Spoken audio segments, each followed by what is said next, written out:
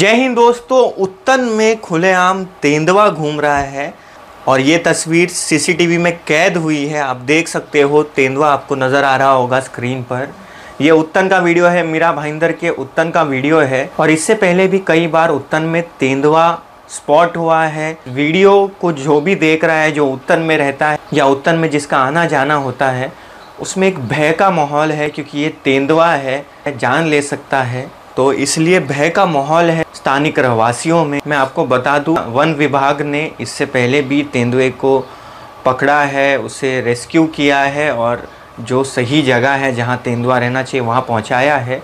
और यही उम्मीद है कि इस बार भी वन विभाग इस तेंदुए को भी पकड़ने में, इसको भी रेस्क्यू करने में कामयाब हो और जो नागरिकों में भय का माहौल बना हुआ है, वो दूर हो।